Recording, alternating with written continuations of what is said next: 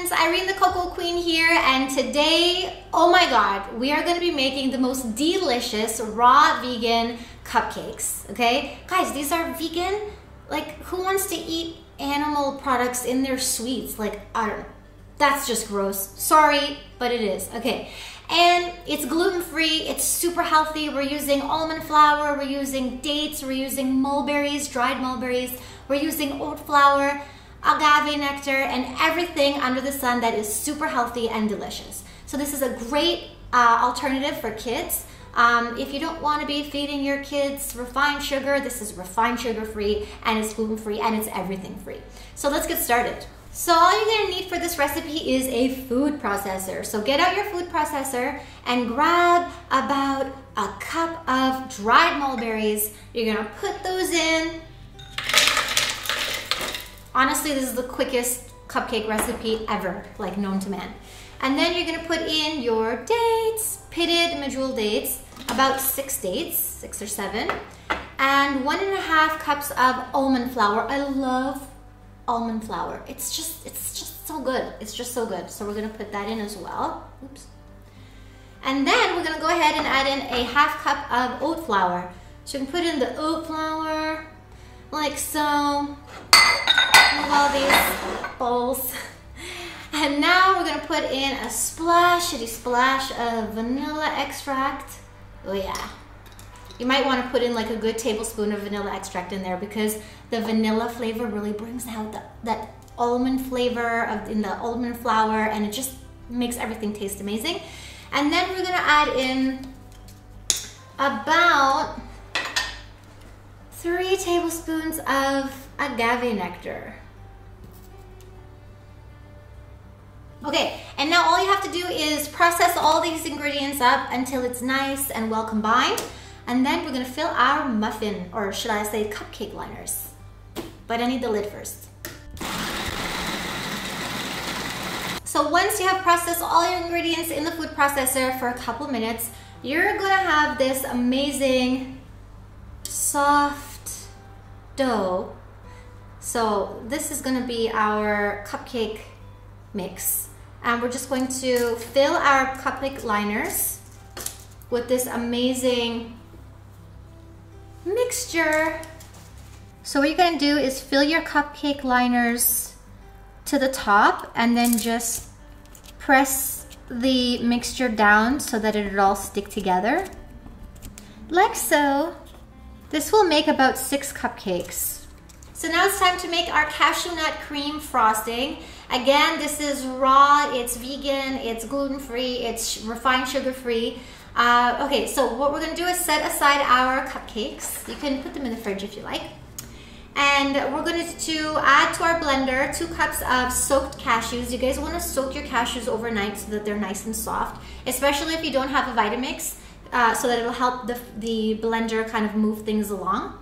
So let's do that.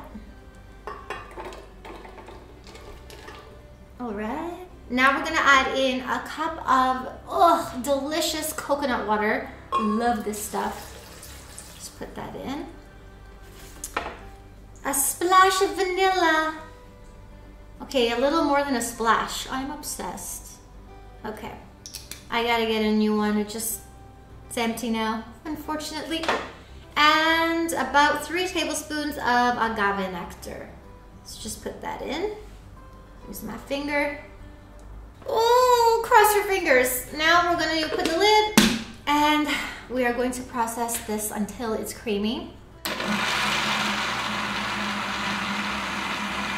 So our cashew nut frosting is nice and creamy, so we're gonna pour it into our little bowl.